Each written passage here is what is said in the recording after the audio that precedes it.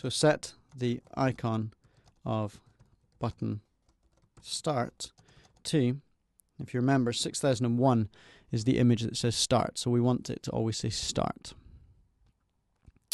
Um, I've realized we've just forgotten to add a label to our interface. So let's add that now.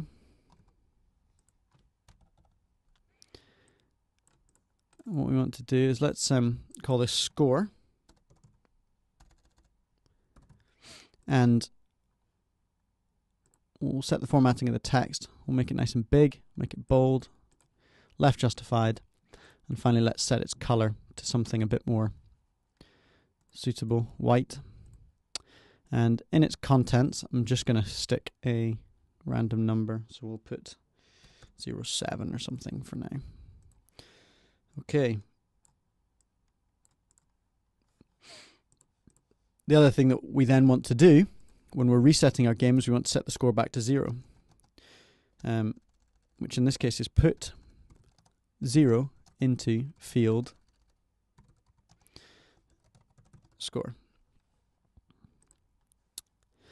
And the last thing that we want to do is we want to track when the game has started and stopped. So we'll do that with a local variable, and the script local means it can be accessed by any of these functions, and we'll call it s for script local playing, so the game is playing. And we want to put false into playing. So that tells any of our other functions, should we choose to check that variable, whether or not the game is playing or not. And so that there is our game reset function. Now, what we want to do is um, implement start stop. So, in order to tell if a game is started or stopped, we could use this s playing variable, but an easy way of doing it in this particular case of starting and stopping the game is actually checking the icon of the button. So if, if the icon is set to 6001, which is start, we know the game isn't playing. So if the icon of button start is 6001, then else and if. I'm just going to put a little comment in here just to help us as we see this. Um, game stopped. Game started. Okay, so what do we need to do when the game is stopped? Well, we need to start the game. So we need to level generate. Call that function here, that handler that starts, builds us a new level. We also need to set this button to say reset. Set the icon of button start to 6002 and we need to put true into this variable that tells us whether or not the game is playing. Hmm? Put true into s playing. Okay. So that's if the game has is, is going to start. Now, if the game is running, what do we need to do? Well, we need to put false into s playing, so it's no longer playing. We need to set the icon back to the start button.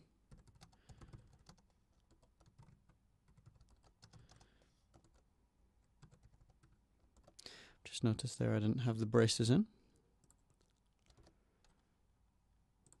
Probably don't need those either. Okay.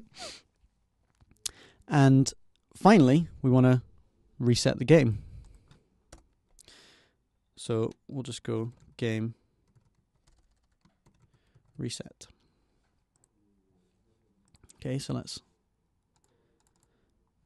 And in order to test it, we need to add this game start stop to the button script. So it's the only piece of coding we'll do outside of the card script, but that just lets us start and stop the game. So let's start. Okay, we got a little bug there. That should be it. So there we go. Start, reset, and you can see that our um, our score has reset to zero. Now, what do we do on level generate? So in level generate, first of all, we want to clear the deck, if you like. We want to make sure that all of these buttons don't have any icon so that the level is blank. Repeat with x equals 1 to 9. And then set the icon of button target ampersand x to 0. So let's just try that. So you can see it clears it, resets it, clears it, resets it. And the last thing we want to do within level generate is we want to pick one of these buttons um, or two of these buttons to show the targets so that the user can press them. So, first of all, let's decide whether or not we're going to generate one or two. So, put um, random 2 into t count. So that's going to say pick me a random number between 1 and 2 and give that into count. And then we're going to we're going to repeat the following step t count times. And in here we're going to generate a random um, square to a random target to show. Okay, so let's go ahead and generate two random targets. So this time we'll set the icon of button target ampersand and this time we're going to put random 9 so from 1 to 9 to 6000 so you'll see that we'll do this up to two times and then we'll randomly pick a target to show. Let's just see how that works. There we go. Let's reset, run it again. Nice. So we're getting sometimes just one target, sometimes two targets. Okay, so the last thing that we need to do is add in the ability um, to touch and destroy these targets. So first of all, let's um, make sure the game is playing. If s playing is true, then and if. So first of all, if the game is running, do this. Secondly, we need to make sure that we're touching an actual target as opposed to another item on the screen. So if the short name of the target contains target, so we know these are all called target plus a number. So we're just going to ask if the short name, which gives us the name of the of the button, contains target, then we're good to go. So this will only get to this point here if one, the game is playing, and if two, they've touched one of the targets. Now we want to check to see whether or not the button they've put their finger against is an actual target. And we can do that because we know that it will have an icon of 6000. If the icon of the target is 6,000,